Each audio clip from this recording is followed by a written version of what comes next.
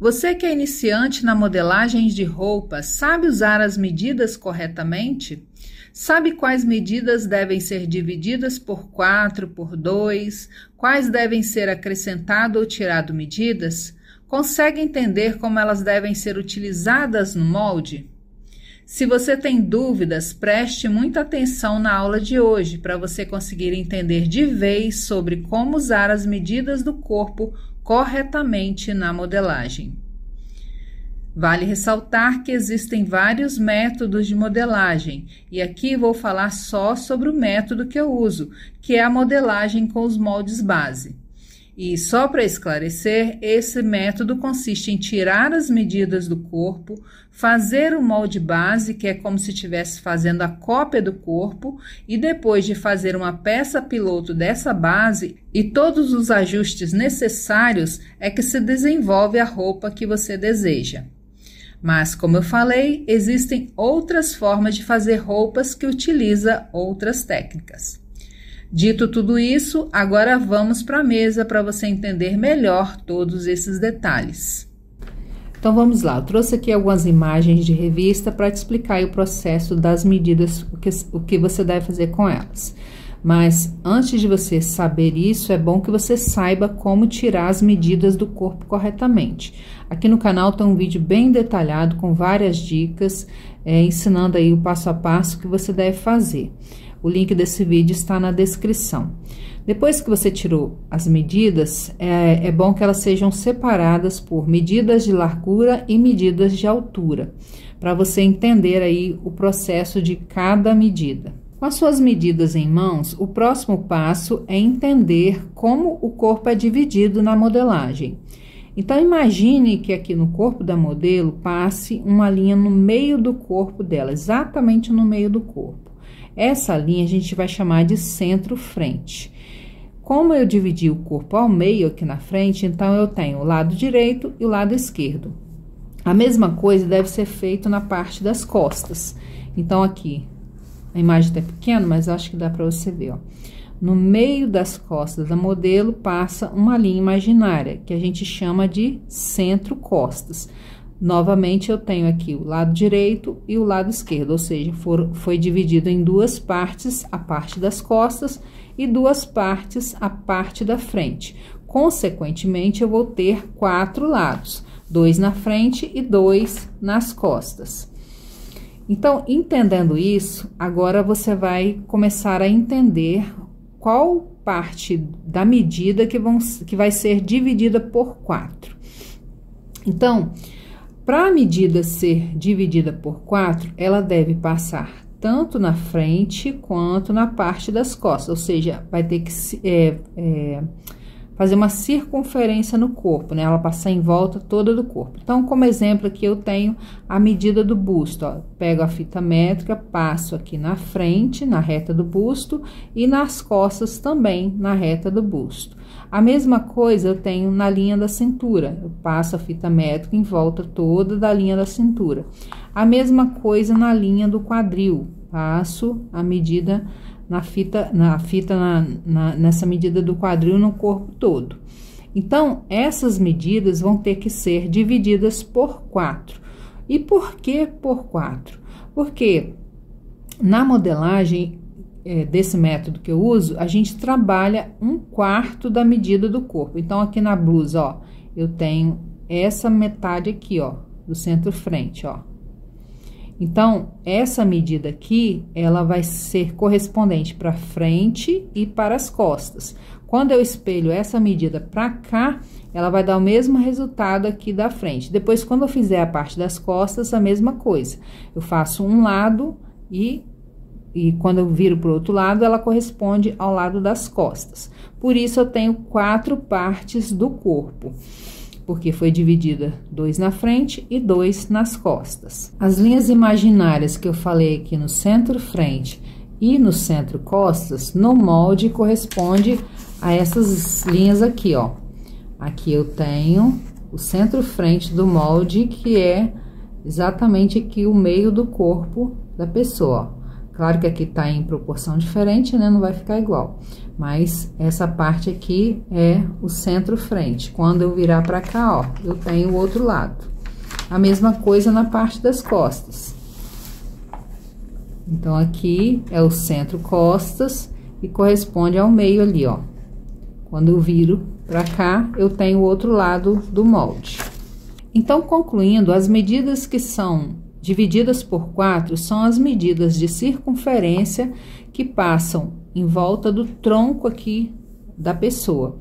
Como exemplo, a largura do seio, que passa aqui na frente, passa atrás, passa em volta do corpo todo. A da cintura, mesma coisa. A largura do quadril, mesma coisa. Se a pessoa tiver culote, a largura do culote. Então, essas medidas eu devo dividir por quatro, porque vão ser utilizadas tanto para a parte da frente quanto, quanto para a parte das costas. E quais as medidas que são divididas por dois? Vou dar alguns exemplos aqui para você entender. Eu tenho aqui no corpo dois braços. Porém, na hora de fazer o molde, eu utilizo o molde do braço direito para fazer o esquerdo. Então, eu tenho aqui o molde de uma manga e aqui eu tenho frente e costas. Aqui na modelagem, ela fica assim, ó, no corpo da pessoa. Essa parte da frente corresponde aqui e aqui atrás corresponde lá a parte das costas ali da manga. Nesse caso, eu vou dividir por dois, porque eu só preciso aqui dessa medida, frente e costas. Eu não vou precisar de dividir aqui a, a, a parte da frente no meio e nem a parte das costas no meio, porque aqui, para construir a medida aqui do, da cabeça da manga, tem todo um, um, processo aqui que é feito, não, não sendo necessário utilizar aqui a metade. Alguns métodos dividem, mas não tem necessidade. Então, nesse caso, eu vou dividir por dois. Vou precisar da parte da frente e a parte das costas da manga. E utilizar esse, esse molde para fazer tanto um braço quanto o outro. Outra medida que eu vou precisar de dividir por dois, que é a medida do entreceio. Para fazer essa medida, eu tenho que medir aqui de um bico do seio ao outro. E depois pegar essa medida e dividir por dois, porque eu vou utilizar só a parte da frente do corpo, porque nas costas não tem seio. E aí, por que, que eu preciso de dividir por dois? Porque aqui, ó, já falei que é a linha imaginária do centro do corpo. Na hora que eu estou fazendo o molde, Deixa eu ver se eu acho o molde aqui. Ó, eu tô é, fazendo aqui o molde, eu preciso daqui, ó, da linha do centro até o seio, né? Porque eu estou trabalhando com um quarto do molde. Só que eu não tenho uma precisão aqui da linha do centro aqui do corpo. Porque, como eu falei, é uma linha imaginária, ela não está riscada no corpo. A medida que eu vou precisar é daqui, como eu falei, do centro do corpo ao, ao ápice do seio. E aí, como eu falei, eu não tenho essa medida que precisa, ela pode vir para cá ou para lá, porque ela é imaginária, né? Então, eu preciso de medir daqui, aqui e dividir ao meio, para utilizar somente esse pedacinho aqui, ó, do centro ao ápice do seio. Outra medida que eu vou precisar dividir somente por dois é a largura aqui do joelho, a largura do tornozelo, se você quiser medir a largura da coxa também, a, é, vai ser dividido por dois parte da frente e parte das costas, porque apesar de eu ter duas pernas, eu vou fazer somente esse lado aqui, ó. Vou fazer somente esse lado aqui, um macacão, uma calça, o que for. Eu vou fazer somente daqui pra cá, porque depois quando eu espelhar sai o outro lado. Igual na manga, eu vou precisar somente de um lado para fazer o outro. Não tem necessidade aqui de eu dividir a parte da frente ao meio, porque eu não vou utilizar nenhuma medida aqui na frente e nem nas costas. Caso você esteja fazendo, por exemplo, um recorte aqui no meio da coxa, aí se você sentir a necessidade, você pode dividir ao meio, mas inicialmente não tem essa necessidade. Então, no caso da largura do joelho, largura do tornozelo, largura da coxa, não precisa dividir por quatro, somente por dois. Vou dar mais dois exemplos aqui de divisão por dois para você conseguir compreender ainda mais. O que você precisa de entender é se você está utilizando a circunferência do corpo todo ou se você está utilizando somente a parte da frente e a parte das costas. Com exceção aqui da manga, que eu utilizei a, a circunferência do braço todo, mas dividi por dois, porque eu não preciso dividir aqui a frente por dois, nem a parte das costas por dois. Eu vou utilizar a circunferência toda, porém, vou dividir só entre duas partes, porque é frente e costas. Então, com exceção da manga, o resto é assim. Passou no corpo todo, divido por 4. Utilizei somente a parte da frente ou somente a parte das costas, eu divido por 2. Então, mais dois exemplos. Alguns métodos utilizam a medida da largura das costas. O meu não utilizo, mas alguns métodos utilizam. Então, nesse caso, ó, mais um exemplo, ó. Nesse caso, eu vou utilizar somente a medida das costas, dividido por dois, porque passou uma linha aqui no meio, ó. E eu vou utilizar somente esse pedaço aqui para fazer a medida de um quarto do molde. A mesma coisa aqui, ó. Entre cavas, alguns métodos utilizam essa medida, ó, de uma cava a outra. Então, nesse caso, é a medida aqui na frente, eu vou utilizar somente a medida da frente. Então, divido por dois. Voltando aqui na manga, que eu acabei esquecendo de falar, é, a medida que eu, que eu tiro aqui para medir o bíceps divido por dois, também eu vou fazer a mesma medida no cotovelo, no punho e na mão. Ou seja, eu não preciso dividir por quatro. Todas essas medidas são divididas por dois. Agora eu vou dar dois exemplos aqui de medidas que não precisam ser divididas nem por dois nem por quatro. E tudo que eu tenho falado até agora aqui é mais relacionado a fazer aqui o desenvolvimento do molde base, porque quando se trata de um de um, a construção de um modelo de uma peça, você está desenvolvendo um modelo, por exemplo, nesse vestido aqui, ó. Aqui ele tá até bem rente ao pescoço, mas eu poderia chegar ele um pouquinho mais para cá.